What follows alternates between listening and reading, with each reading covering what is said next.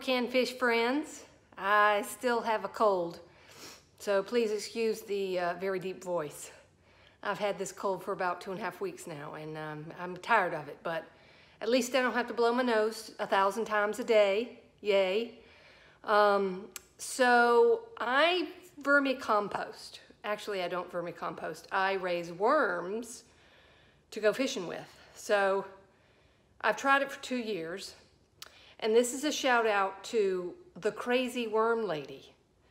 Um, I've watched a bunch of her videos and there is a better way to feed your worms instead of a dry mix on top of the soil. Um, so I went out, we just had a, a, a, thunderstorm roll through with lots of rain. And with lots of rain, the worms kind of come to the surface. And I'm using my phone, so I don't know where to look. Um, so here we go. So I was digging around in my mulch beds, and lo and behold, these monstrosity worms as big as snakes came popping up out of the mulch once I started digging around. Well, then there was one area where there were leaves. Boys and girls, ladies and gentlemen, stay out of the leaves in the summertime because uh, snakes the size of these worms I don't know what it was. I'm gonna roll the footage right here.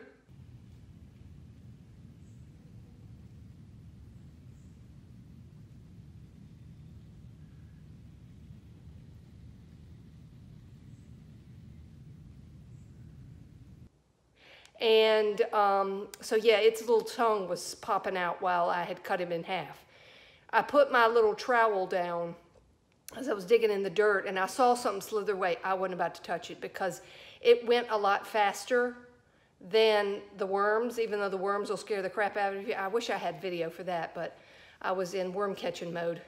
But I'll show you these uh, worms here in just a minute. So I saw it was a snake because it had a pattern on its back. And I was like, you have to die because I have dogs. And I don't know whether you're a copperhead or not or what.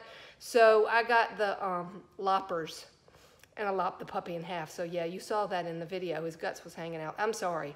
He may have been a good snake. Snakes are snakes. They have to die because, mm-mm, no, no. I don't mess around with snakes. Even though I was messing around with a snake, um, mm-mm, it had to go. Even though it was a baby, I don't care. Because where there's one, there's two, there's three, there's a thousand of them. Just like these worms that I was digging up out of my garden today. Or not my garden, but I'm going to have a garden. So let me switch it to, I'm in my garage sitting on the floor because I have this huge bucket of uh, worms and I'm gonna put one on the ground so that you can see these puppies are as big as snakes. So let's take a look at them.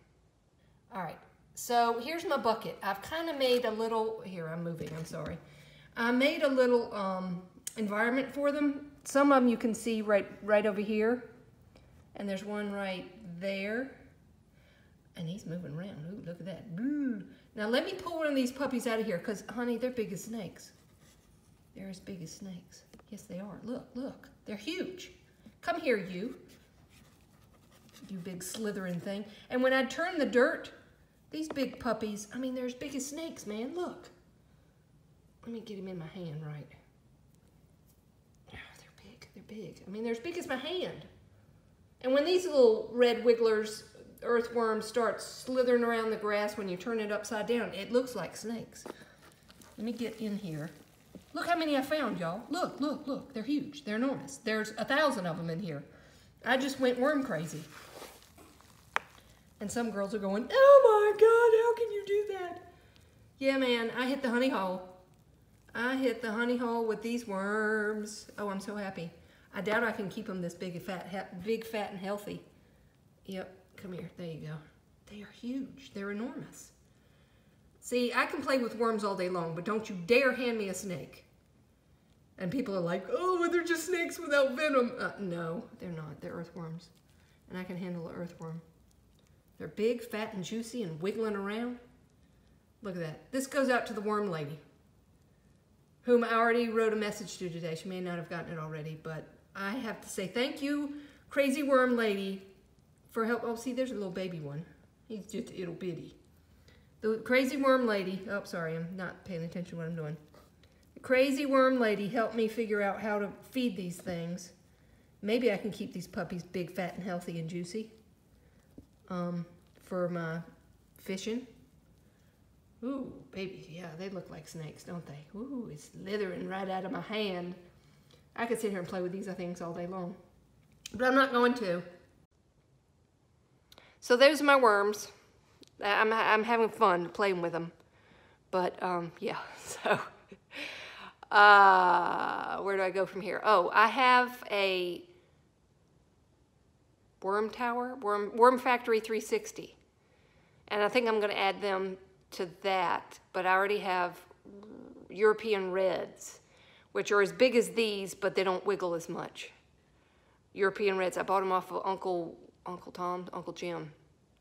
Uncle Jim's Worm Farm? Yes, Uncle Jim's Worm Farm.com, I think. Um, last year, they all died because I was not didn't know what I was doing. And they, they all dried up like the Mojave Desert and they all just shriveled up and died. And because it does not really work real well when you accidentally turn on the dehumidifier in the um, AC unit, unit you have in the garage. Whoops. They all got their, the moisture sucked out of them.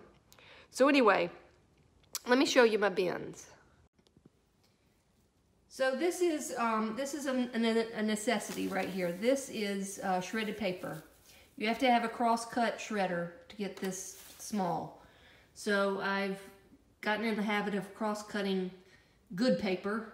Um, let's move over here. I have this one bin.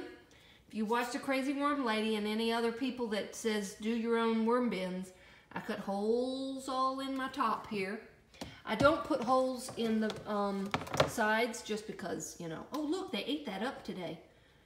Oh, they need some food. Didn't I put a burrito in here today? Um, this may not be enough light in here, but let me turn this over. Oh, they've moved. They they moved. Oh, the reason why they're eating, no, they're not eating pizza. That's dirt.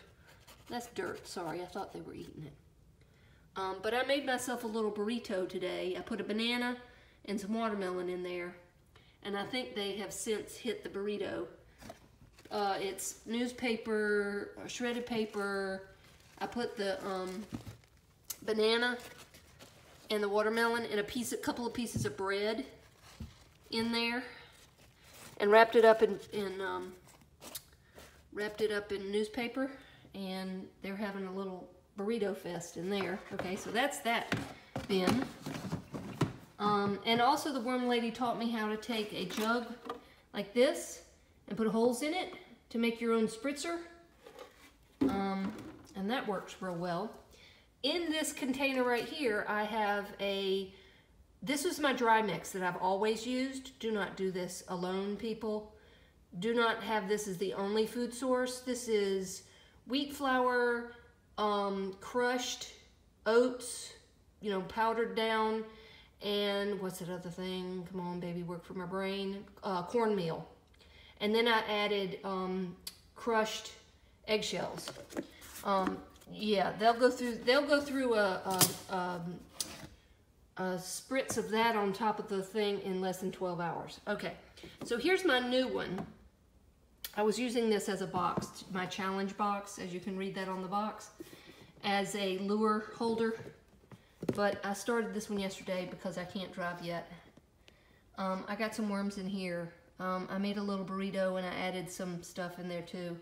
Crazy worm lady, you be you be proud of me.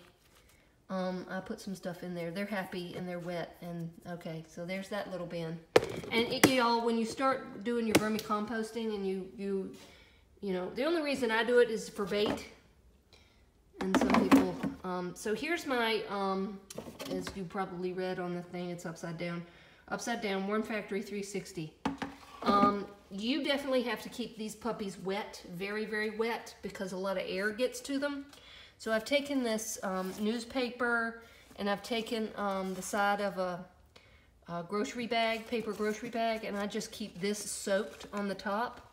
And I added, um, oh, as you can see, some of the dry mix because I'm still trying to teach myself how to use the um, burrito method, which is right there. I added paper and bread and all that kind of good yummy stuff and I hope that they're having a good time on that. So um, so those are my worm bins and you know you're just like Lay's potato chips. You can't have just one, one worm bin.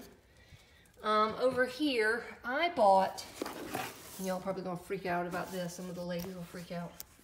If I can do this with one hand, I doubt I can. Hold on just a second. Open up this bag and in this bag are dried mealworms. You probably can't see it. Yeah, there we are. Dried mealworms. Um, no, they aren't moving. I'm making them move. Um, I was buying, I bought these uh, mealworms. They're dead. They're dried out. They look like they're moving, but they're just moving in my hand. Um, I bought these thinking I could use them to catch brim with. Y'all, these are like little straws. When you break them in half, you probably can see that, that they're like straws. And you can't get them on a hook. And so I did a little experiment where I tried to put them in a Ziploc bag with water to reactivate their exoskeleton. Mm -mm, honey, there's no reactivation. They're hard as rocks. So we shall see. Let me get this closed because of this. See, dried mealworms. And y'all, they stink. They stink like um, stuff.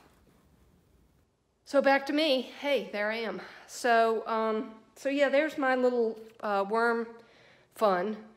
Um, I have, when I get my driving privileges back next week, it's about a week and a half.